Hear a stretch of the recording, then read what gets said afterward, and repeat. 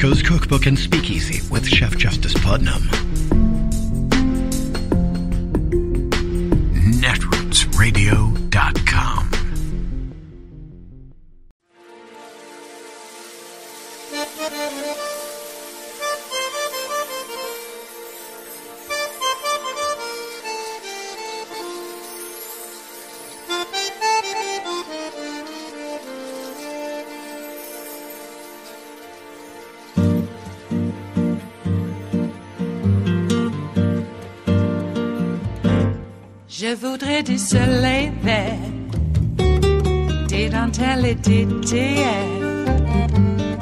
Des photos de bord de mer, dans jardin d'hiver.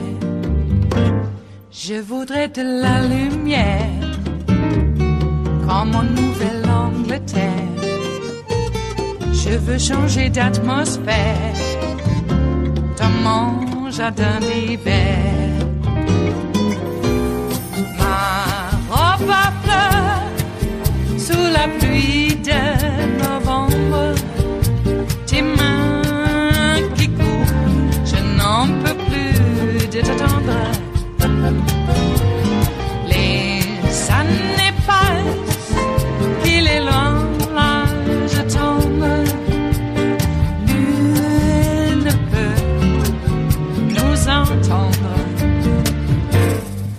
voudrais du Fred Astaire. One of the most distressing elements of these anguishing past 41 days since the horrific events of October 7th and the start of the brutal and bloody war between Israel and Hamas is the marked rise in anti Semitic incidents around the world and right here in the U.S. The Anti Defamation League's Center on Extremism documented 832 anti Semitic incidents of assault, vandalism, and harassment in the U.S. in just four weeks following the attack. It comes out to an average of nearly 28 incidents per day and represents a 316% increase over the same period last year. You could just see it. I mean, in any city you live. Just here in New York City, anti Semitic hate crimes surged 214% in the month of October. Across the country, we've seen synagogues and Jewish schools, Jewish centers, even a Jewish cemetery defaced, vandalized. People have torn down flyers bringing attention to the more than 220 hostages kidnapped by Hamas on October 7th. A lot of these incidents have taken place under cover of night or behind the relative anonymity of a screen. But yesterday, the wealthiest man in the world made one of the most shocking public pronouncements of anti Semitism I've seen. And he did it on the platform that he owns. I'm speaking, of course, of Elon Musk, the founder of SpaceX and Tesla, who purchased Twitter last year, changed his name, and promptly managed to lose $25 billion on it. Musk brought his hard right views to the platform, where he elevated the most loathsome offensive bigots. He welcomed back outright and avowed neo Nazis who'd been banned from the website. He's defended white supremacists, complained about racism against white people. He compared Jewish billionaire George Soros to a Jewish Marvel supervillain. With Elon Musk's attention and encouragement, those with the most despicable views have essentially taken over the platform now known as X. This is a man with enormous power and influence well beyond the internet. He's one of the most powerful private citizens in the world. Just yesterday, Musk attended a cocktail hour with Chinese President Xi Jinping that followed the bilateral meeting with President Joe Biden. Musk also has the ear of top U.S. officials who welcome him like royalty anytime he descends on Washington. And so it's this man who took to his website yesterday to endorse the most violent, dangerous anti Semitic conspiracy theory. Now, it all began with a person who describes himself as a Jewish conservative, expressing his anger about that recent rise of anti Semitism. He addresses the quote, cowards hiding behind the anonymity of the internet and posting Hitler was right, and calls for them to step out of the shadows and quote, say it to our faces. And that prompted a reply from another ro- user who wrote, okay, right? Responding, okay, say it to your faces. People think Hitler was right. Okay, I'll talk to you. Jewish communities have been pushing the exact kind of dialectical hatred against whites they claim to want people to stop using against them. You want truth said to your face? There it is. I wish I could say this was a fringe view, but is a viled and over century old anti Semitic conspiracy theory. Basically, that Jewish people, in coordination with people of color, are a kind of conspiracy to assault whiteness. And in fact, that Jews are behind this conspiracy. This same conspiracy, which has sort of come to be known as the Great Replacement Theory, that Jews are, are the sort of puppet masters manipulating American immigration policy to replace white people, this has permeated into a, a large swath of the American right. We saw it in Charlottesville, most infamously in the 2017, where the marchers chanted, Jews will not replace us. It was this view that was the inspiration for the perpetrator of the horrific anti Semitic mass murder at the Tree of Life Synagogue in 2018. The, the killer said so himself. So, Elon Musk, the richest man in the world, one of the most powerful and influential men in the world, the owner of this platform, replied to the post espousing that vile theory, replied to this post that replied to someone calling out those who think Hitler is right and said, okay. He says this to the guy that said that theory You have said the actual truth the actual truth. Jews coordinating this assault on whiteness. So shocking and repellent that Elon Musk, a man of the highest echelons of our society, would not just say something like that, but actually believe it. It's a reminder that anti Semitism is dangerous and enduring even at the very highest levels of American society. And we should be clear there's a real history of this in this country. Many notable, powerful American figures through the ages were just rank anti Semites.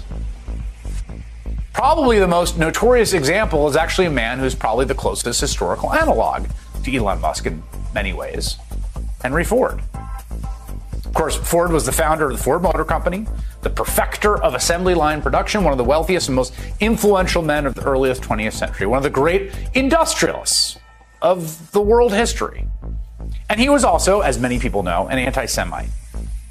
But the, the zealousness, the viciousness with which he pursued that cause of hating Jews, the cause of global persecution of Jewish people, that I think has been a bit underemphasized in our collective recollection. It, it's not an asterisk to Henry Ford's legacy, it's right at the center. In fact, before the rise of Adolf Hitler, Henry Ford was probably the most powerful anti Semite in the world. This is a topic of Rachel Maddow's remarkable new book, Prequel, about fascist sympathizers in the United States around World War II and those who defeated them.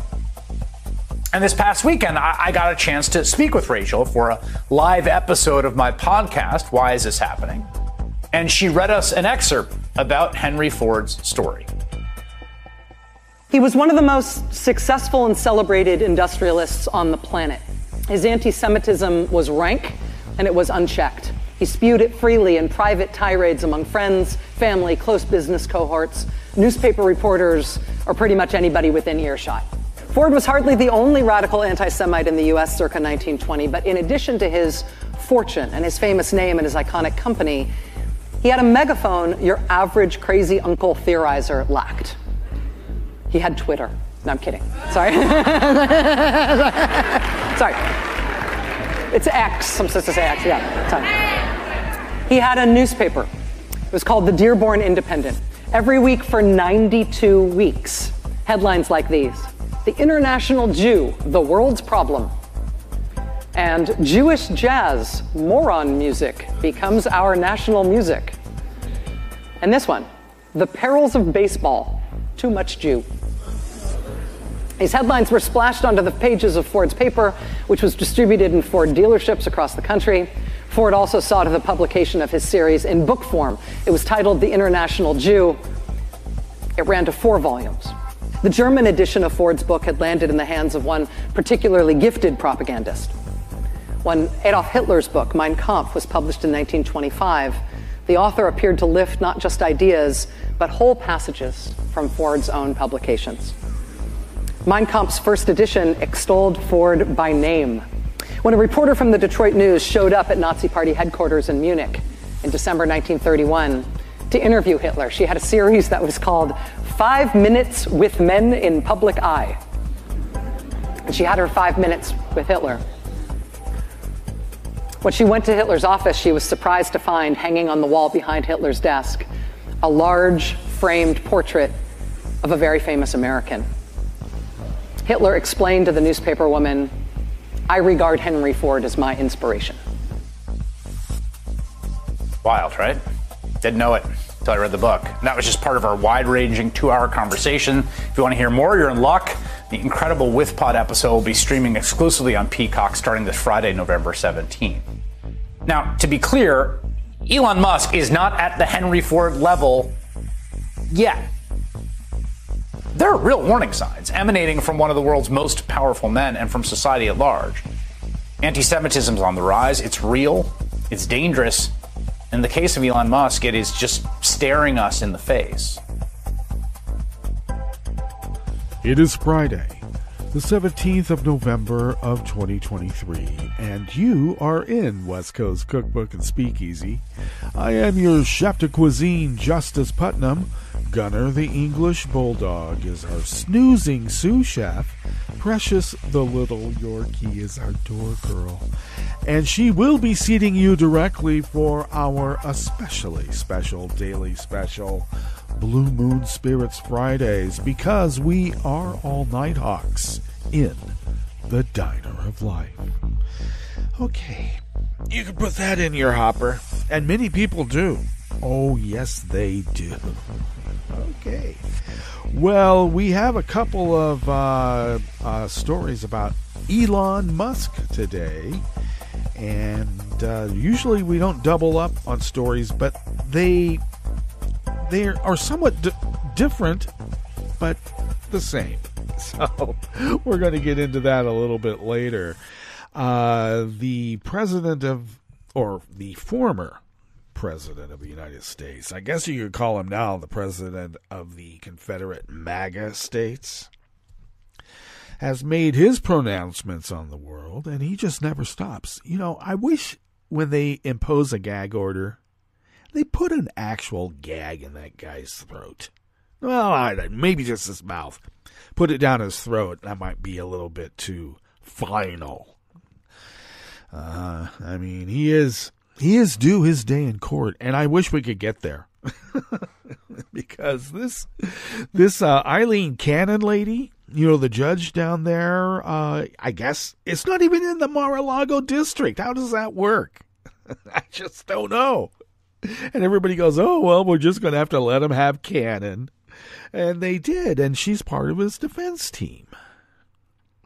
I don't know how else to explain it. Uh, let's remember, she was stacked on the courts after he lost the uh, election and before January 6th. Why was that? because he expected a judge to coronate him, and that was the only one who would do it. Okay. So now they're, you know, they had to make up plan B. Because I actually think, you know, uh, he he really believed that he was going to be reinstalled. He still does. We need to dissuade him of that notion, and I'd like to put him in a little cell, you know, the regular size kind, uh, for say fairness purposes. Mm-hmm. Good for the goose, and good for the gander, kind of thing. So, uh, now, no one's taken out full page ads in the New York Times, uh, you know, advocating the death penalty in this case, unlike what he did to some innocent kids. Who now, one of them, Yusef, has uh, been elected uh, to government there in New York. That'll teach you, Dunny. So, uh, so Aileen Cannon is going to incrementally delay probably the most important trial because this mother effer stole top secret documents from, from the United States government, hoarded them at his resort or whatever it is there, um, and looks like he was uh, selling them to worthy of the highest bidder, just whatever he could get at the time. You know, valuation on top secret documents is so hard. It's it's really how you feel about it. It is. They're only valuable if you feel like they, you know, might help you out of hostile foreign power. and that hostile foreign power is willing to pay. Set your value. He did it with his properties when he laundered Russian mob money, which he's still doing, by the way. so when the governments, state and federal governments take over his properties, do they take the mortgage payments from the mobsters? I don't know. Do the mobsters have mortgage payments? I, I just, I'm just thinking how how does that work? Wouldn't wouldn't Russian mobsters in your condo association be kind of like a blem on the on the property title? I I would make it a blem, but that's just me. So everybody thinks this is normal. He thinks he can just value whatever his pro- whatever he thinks his property can handle. Yet anybody who has ever negotiated anything in selling or buying a house knows that is just ludicrous on his face. My God. Unless I don't know that uh, we've always heard stories about that New York commercial real estate market. Jeez. I guess the residential market might be, I don't know, right up there. You never know. So maybe, maybe it is normal. I don't think so. I really don't. Anyway, uh, he seems to be dominating the conversation once again because he's a fascist pig. There's no getting around it. I don't know. So maybe, maybe uh, that's why old MAGA Mike says that the the United States, America, is so depraved and irredeemable. No shit, Sherlock. Look at your fellows. You know, you ought to be, uh, you know, getting in, the, uh, getting everybody on a knee and saying, "Let's be better people." I always thought that Christian charity meant that you were charitable to others less fortunate than you, rather than I don't know, condemning them to hell and sending them there with that AR-15 that you've got, uh, you know, slung over your shoulder and you're, uh, I don't know, maybe, maybe praying and getting on a knee in that religious cult means that you kill people with your gun while on a knee. You get a better base, you know, stronger, stronger. You don't get pushed over. It's like a, it's like a natural tripod. Hmm. Okay. Well, Old MAGA Mike, as we know, is a heretic. And that whole prosperity gospel BS is her- is heretical uh, on his face as well. And they're uh, they're holding up a libertine such as Donald Trump. What are, I guess he is the Antichrist. if that's the case, I mean, every all the descriptions of the Antichrist fits this guy to a T. It does. I'm just telling you. just that thing on top of his head, whatever that is. Is it a comb over? I, I, what, what kind of, of, uh, I was going to say tonsorial, but that's not the true term. But what, what, what kind of barbering is that? I, I, what do they call that? Jeez.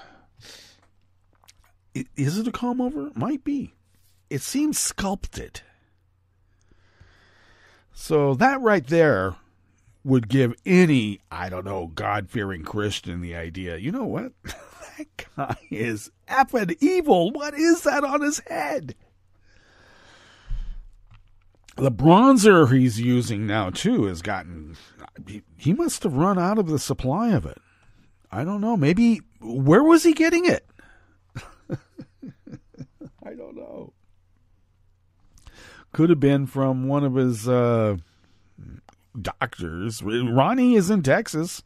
Maybe Ronny knows where to get it.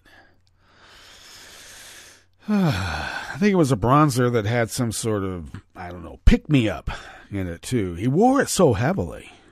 I, people actually think that that is, I don't know, godlike. I, I don't know. Some people have low standards for what it means to, I don't know, be led. I thought this was America. Well, it is.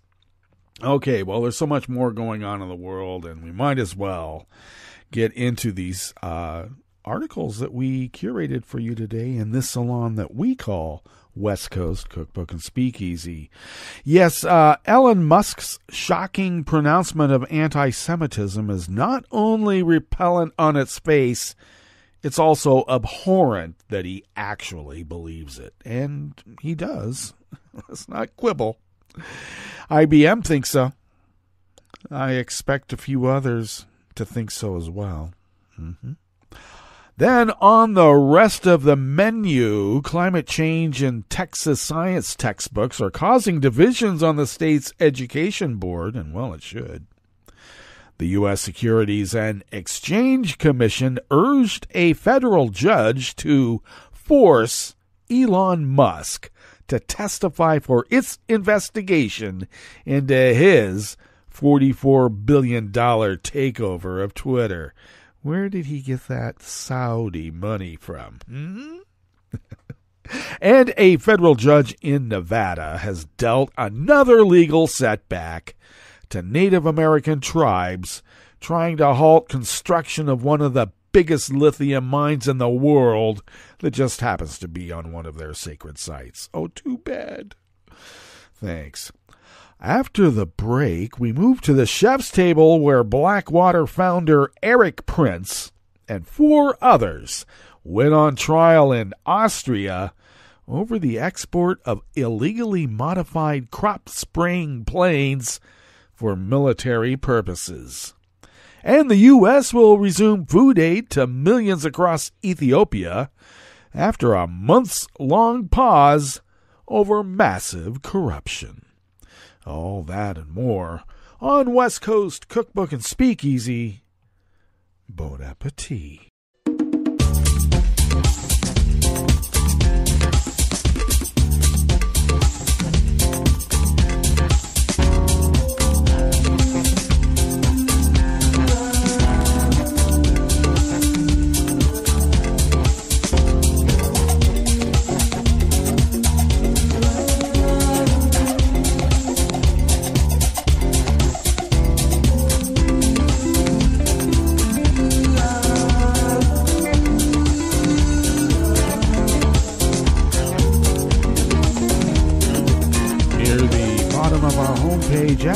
netrootsradio.com. Off to the right of the page is the chat room link, monitored by Kelly Lincoln. So thank you, Kelly, for doing so. Across the page to the left from that chat room link, uh, near the bottom of our homepage at netrootsradio.com, is the link to our Patreon site. And if you could become a recurring Patreon of Netroots Radio, it really helps us pay our bills and continue this powerhouse of resistance as the founders originally intended so many years ago. So please do, please become a recurring Patreon. Please. If you would like to follow Netroots Radio on Twitter, Mastodon, Spoutible, Blue Sky, you know, you can do so at Netroots Radio. Tom takes care of those. Thank you, Tom.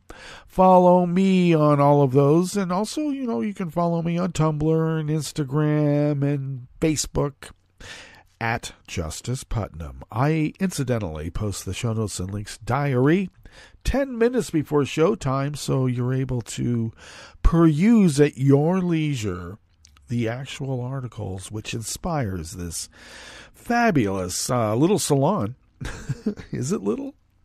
And uh, the little speakeasy down in the back, too. Oh, yeah, past the chef's table, just so you know.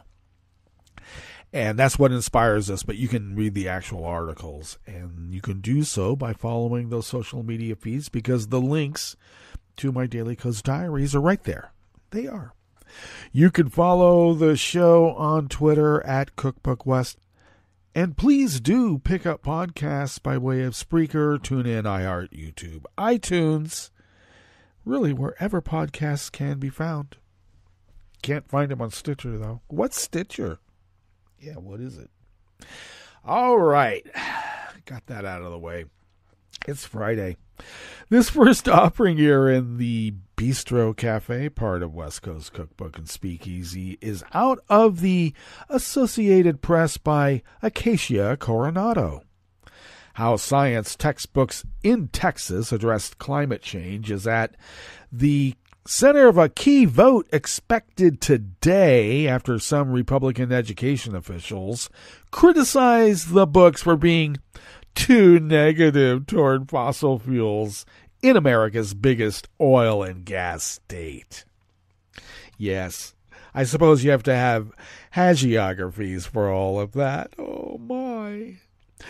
The issue of which textbooks to approve has led to new divisions on the Texas State Board of Education, which over the years has faced other heated curriculum battles surrounding how evolution and U.S. history is taught to more than 5 million students. Science standards adopted by the board's conservative majority in 2021 do not mention creationism as an alternative to evolution. Those standards also describe human factors as contributors to climate change. But some Republicans on the 15 member board this week waved off current textbook options as too negative toward fossil fuels and failing to include alternatives to evolution. Alternatives? One of Texas's regulators of the oil and gas industry, Republican Wayne Christian, has urged the board to choose books that promote the importance of fossil fuels for energy promotion. Wow, that's nice. Science and history written for the corporate giants in your state. Now, Texas has more than 1,000 school districts, and none are obligated to use textbooks approved by the board. Still, the endorsements carry weight. Friday's vote today will decide whether the proposed textbooks meet the standards set in 2021. Branch said multiple books comply with the regulations set set then by the board and follow the consensus of the scientific community. Now, scientists overwhelmingly agree that heat trapping gases released from the combustion of fossil fuels are pushing up global temperatures, upending weather patterns, and endangering animal species. Aaron Kinsey, a Republican board member and executive of an oilfield services company in West Texas, criticized photos in some textbooks as negatively portraying the oil and gas industry during a discussion of the materials this week. The selection of certain images can make things appear worse than they are, and I believe there was bias, Kinsey said, according to Hearst newspapers. Now, in a letter on Thursday yesterday, the National Science Teaching Association, which is made up of 35,000 science educators around the United States, urged the board not to allow misguided objections to evolution and climate change impede the adoption of science textbooks in Texas. How many textbooks the board could reject Depends on the grade level and publisher, said Emily Witt, a spokeswoman for the Texas Freedom Network, a left leaning watchdog of the board. She said their organization had identified only two textbooks that would not meet the standards set in 2021.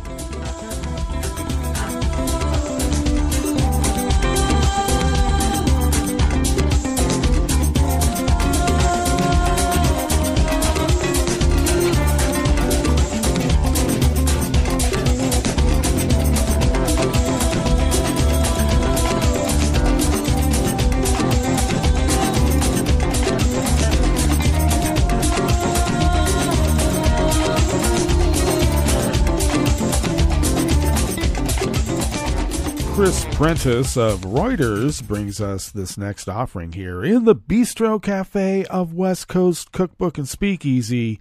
Blue Moon Spirits Fridays. The U.S. Securities and Exchange Commission on Thursday yesterday urged a federal judge to force billionaire Elon Musk to testify for its investigation into his $44 billion takeover of social media giant Twitter that he insists people call X, but people insist they won't.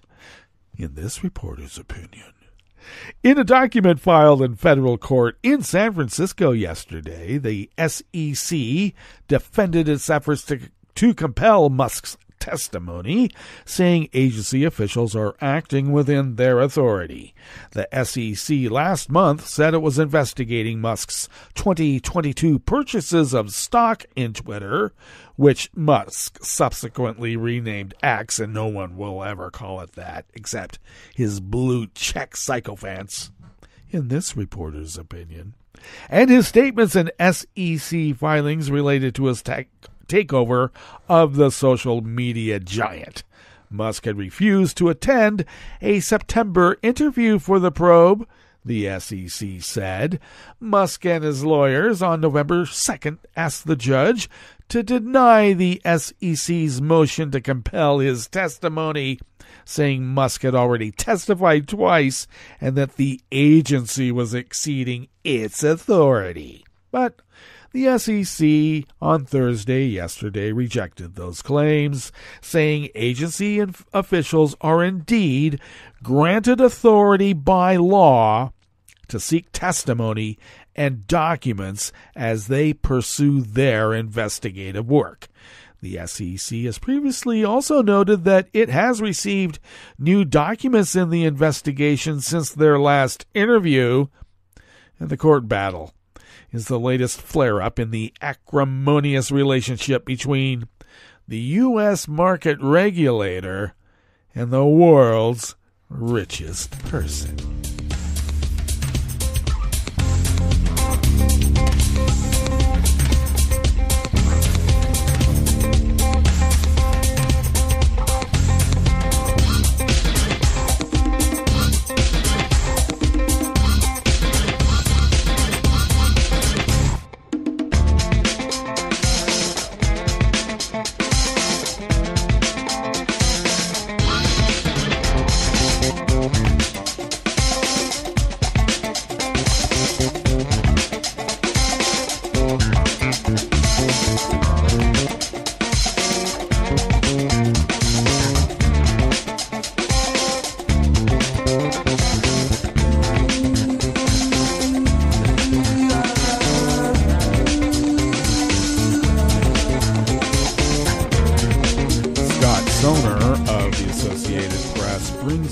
Final offering here in the Bistro Cafe of West Coast Cookbook and Speakeasy. A federal judge in Nevada has dealt another legal setback to Native American tribes trying to halt construction of one of the biggest lithium mines in the world. U.S. District Judge Miranda Du granted the government's motion to dismiss their claims the mine is being built illegally near the sacred site of an 1865 massacre along the Nevada Oregon line. But she said in last week's order, the three tribes suing the BLM deserve another chance to amend their complaint to try to prove the agency failed to adequately consult with them as required by the National Historic Preservation Act. Given that the court has now twice agreed with the federal defendants and plaintiffs did not vary their argument, the court is skeptical that plaintiffs could successfully amend it, but skeptical does not mean futile, Du wrote on November 9th.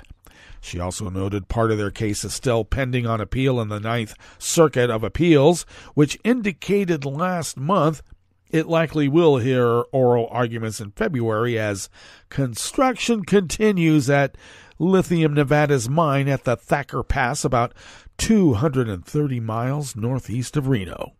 Du said in an earlier ruling the tribes had failed to prove the project site is where more than two dozen of their ancestors were killed by the U.S. cavalry on September 12th of 1865. Her new ruling is the latest in a series that have turned back legal challenges to the mine on a variety of fronts, including environmentalists' claim that it would violate the 1872 mining law and destroy key habitat for sage grouse, cutthroat trout, and pronghorn antelope. All have argued the Bureau violated numerous laws in a rush to approve the mine to help meet skyrocketing demand for lithium used in the manufacture of batteries for electric vehicles. All right.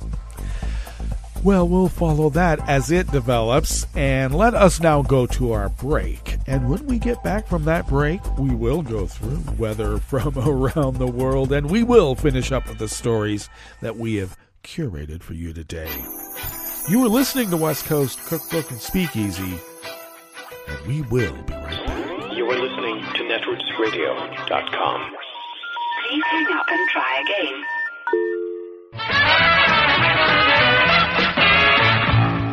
From a point at sea to the circles of your mind, a new force is at work for planetary transformation. New radio for a new Earth.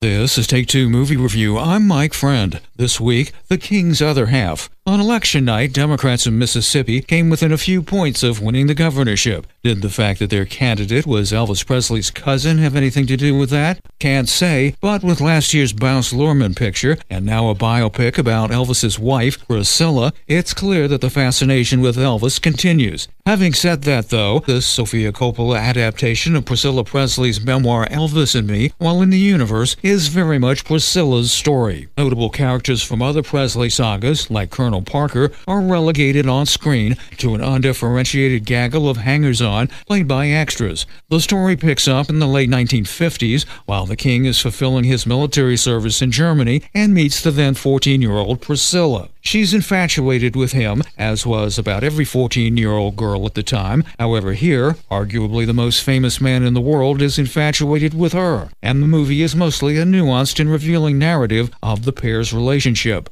Elvis skyrockets, Priscilla grows up. Elvis spirals, Priscilla gains agency, and eventually ends things. Relative newcomer Cailee Spaeny does wonderful work here, showing strength rather than victimhood in a relationship that, even granted some leeway for historical and cultural differences, seems abusive. In late 2022, Variety and other outlets made public some emails between Coppola and the late Lisa Marie Presley, indicating that she had some serious issues with the depictions of her parents in a script she reviewed. No word if that was the final script, and Priscilla herself is an executive producer here, but liberties are not not, Priscilla is a well done film that seems thematically in line with much of Coppola's other work. This has been Take Two Movie Review. I'm Mike Friend. Catch up with us at Take2MovieReview.com and feed us back on our channel on YouTube.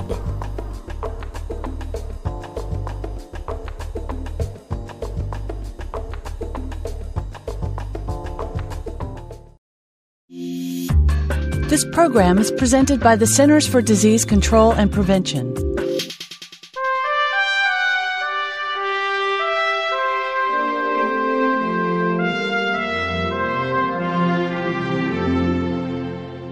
Welcome to A Cup of Health with CDC, a weekly feature of the MMWR, the Morbidity and Mortality Weekly Report. I'm your host, Dr. Robert Gaynes. Arthritis affects more than one in five adults and is the most common cause of disability in the United States. Dr. Kamil Barbour is a researcher with CDC's National Center for Chronic Disease Prevention and Health Promotion. He's joining us today to discuss ways to control arthritis. Welcome to the show, Kamil. Thank you. Kamil, are there different types of arthritis? Yes, there are over a hundred types. Uh, the most common types are osteoarthritis, rheumatoid arthritis, lupus, gout, and fibromyalgia. What are the symptoms of arthritis? Arthritis, which is uh, joint inflammation, can result in pain, stiffness, and swelling in the joints. Does arthritis affect some people more than others? Yes, it affects uh, primarily the elderly. It also affects people with chronic conditions such as heart disease, diabetes, and obesity. And it's also much higher in women compared to men. What are some strategies for managing arthritis pain? Now, adults with arthritis may be reluctant to engage in physical activity because of the symptoms that they have, such as joint pain and stiffness. However, we know that there are low impact types of physical activities, such as walking and swimming, that have been shown to uh, improve function and reduce pain in adults with arthritis. There are also self management programs that, in addition to these physical activity programs, have different ways to maintain weight and other ways to control your arthritis symptoms. How can people reduce their risk of developing arthritis? So, as I said earlier, osteoarthritis is the most common type of arthritis, and the best way to reduce your chances of developing it is to maintain a normal weight and avoid joint injury. Kamil, where can listeners get more information about arthritis, including the self management program? Listeners can go to cdc.gov slash arthritis. Thanks, Kamil. I've been talking today with CDC's Dr. Kamil Barbour about ways to control the pain caused by arthritis. Remember, although there's no cure, arthritis can be controlled through medical treatment, regular exercise, and weight maintenance. If you suffer from arthritis, talk to a healthcare provider about programs to manage your condition. Until next time, be well. This is Dr. Robert Gaynes for A Cup of Health with CDC. For the most accurate health information, visit www.cdc.gov or call 1 800 CDC Info. This program is presented by the Centers for Disease Control and Prevention.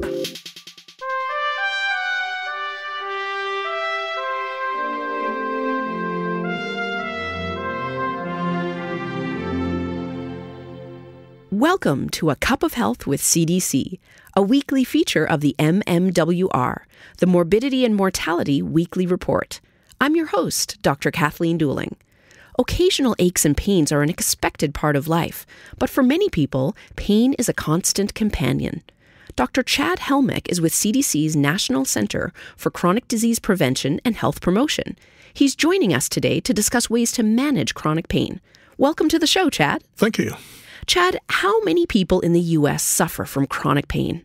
In 2016, 50 million adults had chronic pain, which is pain on most or every day in the past six months. More interesting, though, is that 20 million people have high impact chronic pain, which is chronic pain that also limits their work or life activities on most or every day in the past six months. This is a problem because chronic pain is associated not only with symptoms, but with anxiety and depression, reduced quality of life, and the risk of opioid problems. What are the most common causes of chronic pain? The most common causes generally relate to the bones and joints, like low back pain and arthritis, but there are many other causes headaches, sickle cell disease, fibromyalgia, surgery and injuries, and many, many others. Is chronic pain more common in any particular group of people?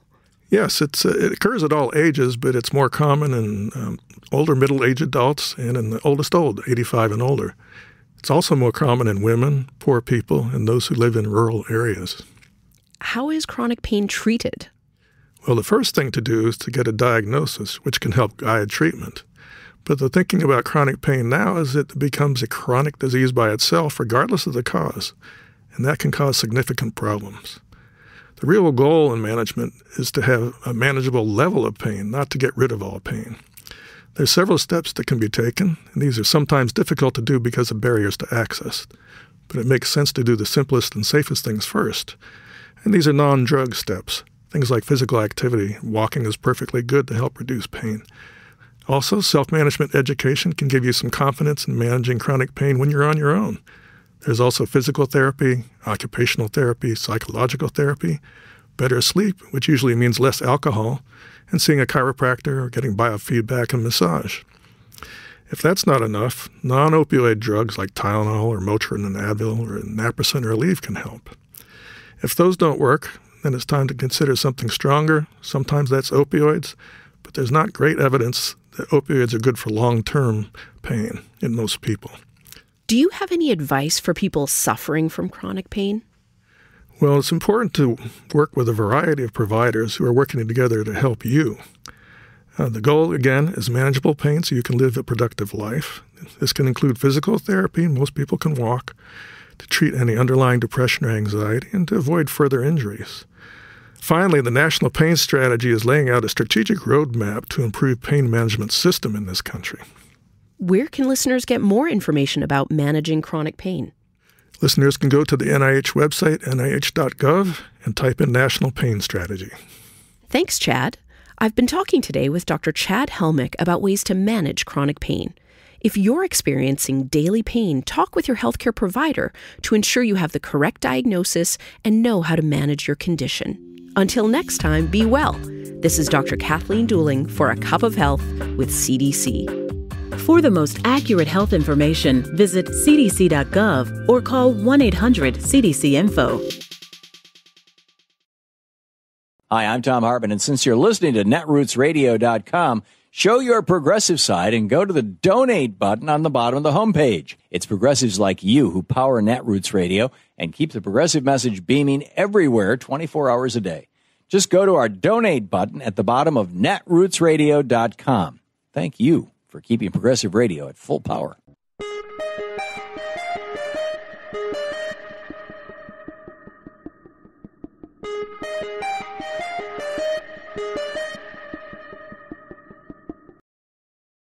Bertie Bowman began his career doing janitorial jobs and sweeping the steps of the U.S. Capitol in 1944 when he was 13 years old. I'm Bill Newman, and this is the Civil Liberties Minute. Bowman had run away from his home in South Carolina, where his family worked as sharecroppers. He later said that when he was in the cotton fields, he'd look at airplanes and buses and wonder where they were going. Some 20 plus years later, in 1965, still in D.C., he joined the staff of the Senate Foreign Relations Committee.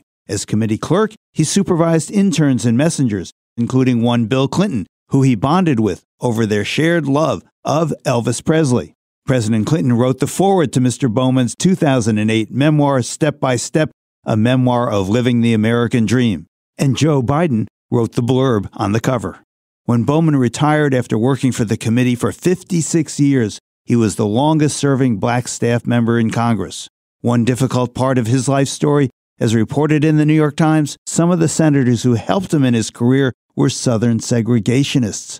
As he told NPR, I'd be telling you a lie if I said some things those senators said didn't hurt me. Bertie Bowman, a respected and beloved person in the Capitol, died in late October at the age of 92. Rest in peace, Bertie Bowman. The Civil Liberties Minute is made possible by the ACLU because freedom can't protect itself. You're listening to the American Democracy Minute, keeping your government by and for the people. Voters in three Michigan cities approved ranked choice voting November 7th, but state law doesn't yet allow it. November 15th, the Voter Choice Act was reintroduced in the U.S. Senate, proposing matching funds for state and local governments to implement RCV. Voters in Kalamazoo, Royal Oak, and East Lansing passed changes to their city charters to allow ranked choice voting for mayor and city commission. That's good news for democracy advocates who argue that RCV offers more options for voters, guarantees a majority winner, and costs less in the long run by eliminating expensive and low turnout runoff elections. Problem is, Michigan law doesn't allow RCV, though Michigan Live reports that a state representative plans to introduce a bill to allow it. Meanwhile, in Washington, U.S. Senators Michael Bennet of Colorado and Angus King of Maine reintroduced the Voter Choice Act, proposing $40 million in federal matching funds to help states and municipalities implement ranked choice voting systems. Maine and Alaska currently use it statewide. Nevada and Arizona will vote on it in 2024, and 50 counties and cities have adopted it, making it one of the fastest growing democracy reforms. Passage of the Voter Choice Act is unlikely in the U.S. House because the Republican National Committee recently opposed RCV. We have more on ranked choice voting and the groups taking action at AmericanDemocracyMinute.org. I'm Brian Beal. I'm Rick Smith, and this is Labor History in Two. On this day in labor history, the year was 1747. That was the day that a crowd of Boston workers took British officers as hostages and held them for three days. The workers were outraged that fellow Bostonians had been pressed into service on British Navy ships against their will. Impressing ship crews was one of the ways the British manned their ships when there were not enough willing crew members. The seaport at Boston Boston had become so notorious for this kind of worker kidnapping that other merchant vessels had begun to avoid the area for fear that their crews might be taken by the British Navy. Bostonians became increasingly vocal against the practice and worried about its impact on the local economy. In 1745, the local selectmen petitioned for, quote, immediate relief from impressment. They wrote that it was a matter that, quote, nearly affects the liberties of the people and is a great insult upon this government. Two years later, Commodore Charles Knowles sailed into Boston on his way to the West Indies. While he resupplied and refit his ships, some of his crew members escaped from service. To make up his diminished crew, on November 16th, Knowles ordered local workers to be rounded up as replacements. Fed up, Bostonians detained members of the British fleet, including one of Knowles' lieutenants. The Massachusetts governor, William Shirley, was able to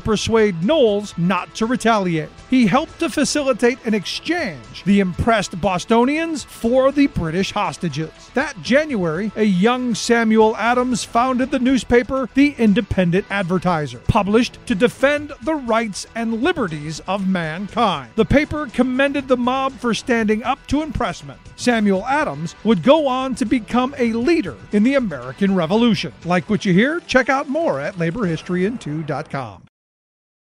Thank you.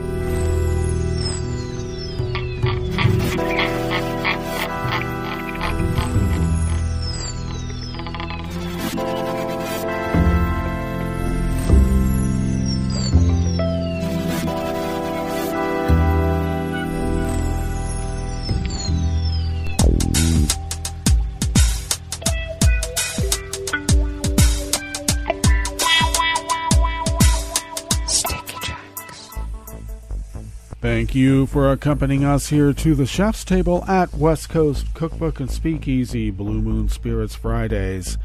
We always begin weather from around the world along the banks of the Rogue River in the Rogue River Valley of Southern Oregon on the west coast of the continental United States of America, where it is currently 44 degrees Fahrenheit under partly cloudy conditions, and uh, winds will be light and variable with expected highs later uh, in the low 60s and that'll be nearly the same as yesterday. Partly cloudy this evening, then becoming cloudy overnight with lows in the mid 40s, winds light and variable, and then rain showers in the morning on Saturday will evolve into more steady rain in the afternoon and throughout the weekend. Highs in the mid 50s, winds out of the south southeast picking up to 10 to 15 miles per hour and we're expecting a half an inch tomorrow and about a quarter inch on Sunday. Pollen is still rated as none here in the little village of Rogue River. The air quality index for the Rogue River Valley region is in the good range at 17 parts per million, and that daytime UV index is low at level 2. Barometric pressure is holding steady at 30.04 inches.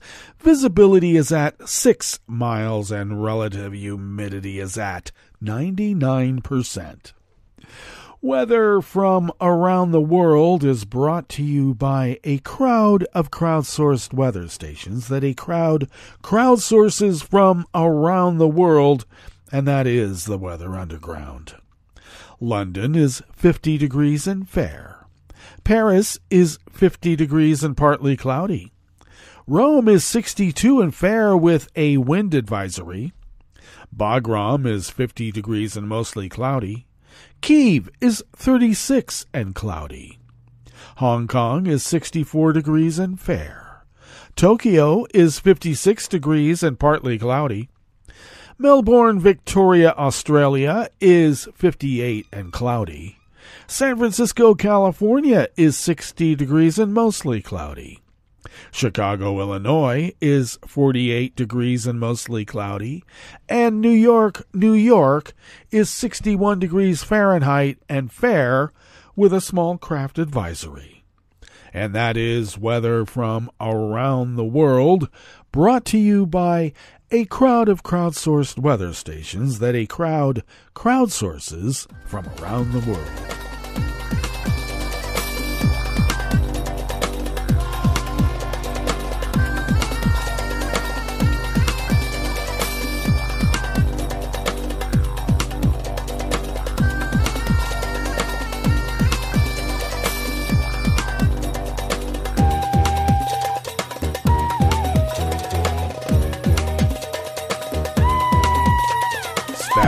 Associated Press brings us this first amuse bouche here at the chef's table at West Coast Cookbook and Speakeasy Blue Moon Spirits Fridays because we are all Nighthawks in the Diner of Life. Five people, including the founder of the Blackwater security firm, went on trial in Austria yesterday, Thursday, accused of exporting two crop spraying aircraft that were allegedly refitted for military purposes without required permits. The trial in Wiener Neustadt, south of Vienna, stems from an investigation into a local company, Airborne Technologies GmbH, which fits out aircraft with sensors and other equipment. Prosecutors say that two Ayres Thrush agricultural aircraft were equipped with armor, extra tanks, and a special camera that could be used for marking and illuminating targets.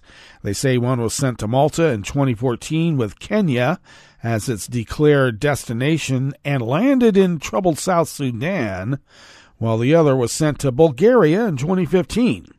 The defendants are accused of violating Austria's law on war material by exporting such equipment without permission. One of the defendants, an Australian pilot, is accused of flying the two planes across Austria's borders, while the four other defendants participated in the deal.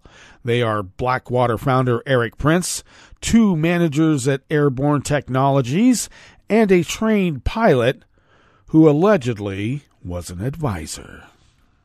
All pleaded not guilty as the trial started. Norbert Wess, a lawyer for Prince and two other defendants, argued that the modifications made to the planes did not turn them into war material. We maintain with firm conviction the point of view that the categorization is legally wrong. The Austrian press agency quoted him as saying. He said all the modifications are completely innocuous. You know, extra armor, bigger tanks, cameras that can illuminate potential targets, you know, innocuous.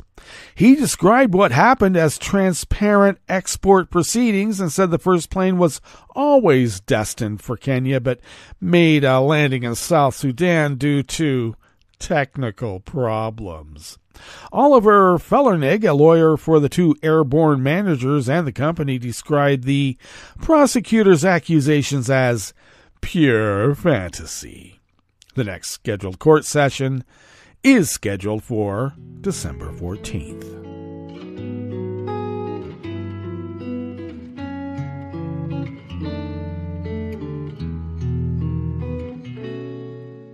Je te donne c'est mon amour pour la vie entière. La promesse de me trouver à tes genoux. Aussitôt que tu m'appelles, rester toujours fidèle. C'est tout. C'est tout. Je te donne tous mes printemps, mes étés de mer automnes, quand les feuilles tombent partout. Si ce n'est pas une bonne affaire, je te donne tous mes hivers. Even more staff at the Associated Press brings us this final amuse bouche here at the chef's table at West Coast Cookbook and Speakeasy. The lead U.S. development agency plans to restart food aid deliveries for millions of people across Ethiopia in December, five months after it took the extraordinary step of halting its nationwide program over a massive corruption scheme by local officials. U.S. Agency for International Development officials on Wednesday described wide ranging new reforms in handling of food aid to the East African country to try to prevent a repeat of what they said may have been the largest theft of food aid in history. The anti theft measures will be tested for one year, USAID spokesperson Jessica Jennings said, adding that they will fundamentally shift Ethiopia's food aid system and help ensure aid reaches those experiencing acute food insecurity. Ethiopia is Africa's second most populous country and one of the largest recipients of U.S. humanitarian aid due to droughts, conflict, and other factors disrupting food supplies. About one sixth of Ethiopians received food aid before discovery of the food theft earlier this year. Well, that brings us to the end of our broadcast period for the day and the week. But you do know Netroots Radio broadcasts on, and we will meet up here on Monday for River City Hash Mondays. So do stay tuned to Netroots Radio all day and all night and all weekend for all the breaking news as it breaks. And we will meet up here on Monday, right here in West Coast Cookbook and Speakeasy. Bon appetit.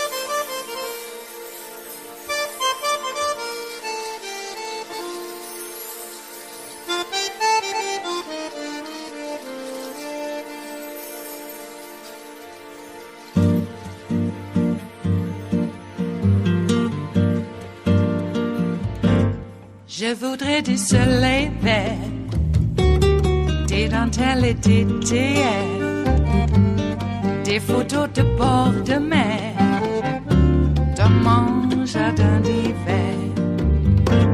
Je voudrais de la lumière, comme en Nouvelle-Angleterre. Je veux changer d'atmosphère dans mon jardin d'hiver.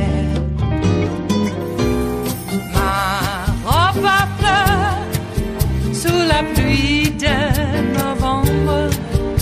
Tes mains qui courent, je n'en peux plus de t'attendre. Les années passent, qu'il est loin, là je tombe. Nul ne peut nous entendre. Je voudrais du Fred Astaire,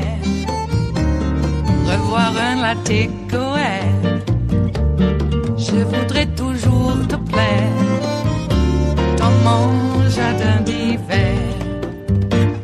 Je veux déjeuner par terre, comme au long de golfe clair. T'embrasser les yeux ouverts dans mon jardin d'hiver.